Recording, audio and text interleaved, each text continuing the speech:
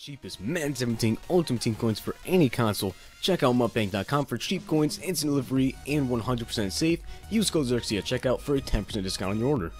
The whole thing wobbin', wobbin', wobbin'. When I come around, got the whole thing wobbin', wobbin'. It is Zirksee today with another YouTube video, and today we have Ultimate Legends, Mel Blount, and Erik Williams going for 3 million coins. Basically, Mel Blount, tip drill, big and lockdown chemistries 96 speed, 96 excel with 95 agility, 97 man, 95 zone, 97 press, 96 cleric, and a 78 catching, 82 strength. That is just ridiculous. 86 tackle, 96 jumpy, 6 foot 3, very, very good.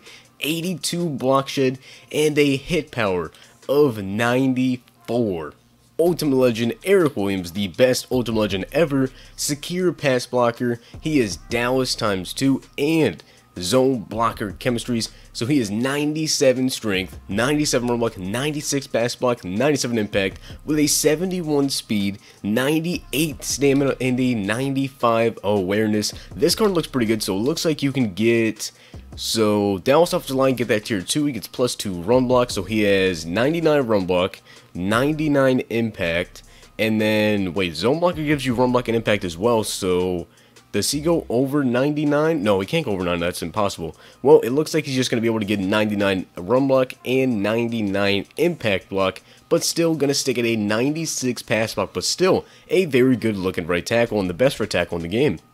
Alright, so let's open up a couple of packs today, and unfortunately, it looks like EA is an idiot once again. They dropped draft packs instead of Ultra Legend packs, but today is EA Play, so hopefully we'll be getting some Madden 18 gameplay videos. I, am really not sure if we're going to. I did tweet at Rex, and he did reply and said that they don't want people, you know, to have gameplay videos out just yet. It's a part of the marketing process, and I really don't know if we're going to to see any gameplay until the game officially comes out, which kind of sucks as we pull an 86 Aqib Talib in this pack, but I did buy Friday the 13th, so do expect some videos of Friday the 13th coming out soon.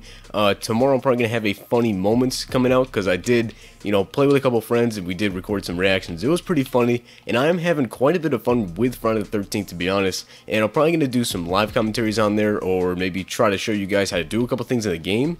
Personally, I'm still trying to learn how to even play the game, but I will do my best to bring us some tips on that game as well.